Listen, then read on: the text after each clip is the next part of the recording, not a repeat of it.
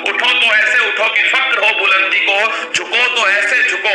बंदगी भी नाच करे, आए हो निवाने को जब किरदार ज़मीन पर कुछ ऐसा कर जाओ कि जमाना भी मिसाल दे। कुछ ऐसा कर जाओ कि पर्दा गिरने के बाद पड़ोसी दोस्ती तालियाँ बजाए। पड़ोसी ये कह दे कि अब की बार आपने कोई बेहतरीन काम किया है। सुन ध्यान रखना दोस्तों इस बात को कि खामोशी छाएगी।